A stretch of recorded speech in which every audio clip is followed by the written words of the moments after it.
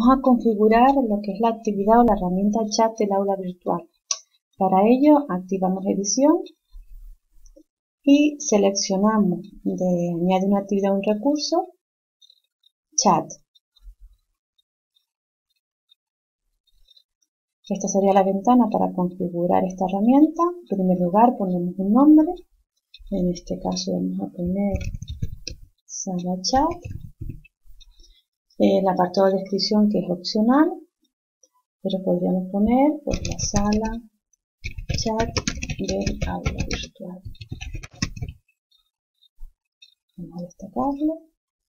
Si quieren que esta breve descripción aparezca en la parte central del aula, activan esta pestaña, si no, pues las deshabilitan. Y ahora vamos a programar las sesiones.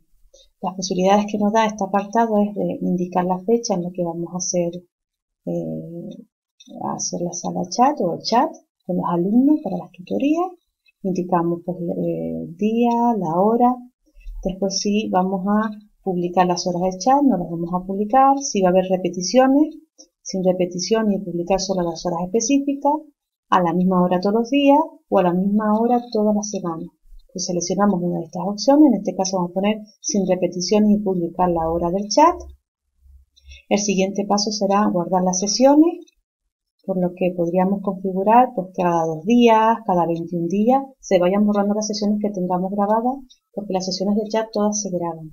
En este caso vamos a dejarlo configurado de que nunca se borre ningún mensaje, ninguna sesión y vamos a posibilitar, a dar la posibilidad a, a los alumnos de que puedan acceder a sesiones pasadas, entonces seleccionamos que sí y el resto de apartados ya no sería falta de configurarlos porque son apartados opcionales. Y por último, revisando, pues ya le damos a guardar cambios y ya hemos creado la herramienta por la que pueden acceder los alumnos y hacer unas tutorías puntuales. Accedemos a la sala chat del aula y verán que aquí tienes el enlace para entrar a la sala. Como solo se nos permite chatear y escribir mensajes, aquí está, aquí se podría escribir un mensajito, hola, buenas tardes. aquí en este lado aparecerían eh, los alumnos que, están conectados y el profesor, y aquí aparecerían nuestros mensajes, y los mensajes de los alumnos. Se recomienda utilizar el chat de la virtual en, en, grupos reducidos y con una temática muy específica para debatir o consultar o resolver ese día, ya que no solo nos permite, no podemos hablar, no podemos poner cámara, simplemente escribir, pues procurar que la temática sea específica y que no sean muchos alumnos.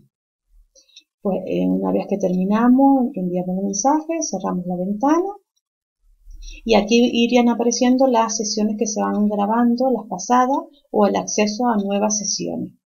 Y así es como se configuraría lo que es la herramienta chat del aula virtual para realizar pues, tutorías puntuales.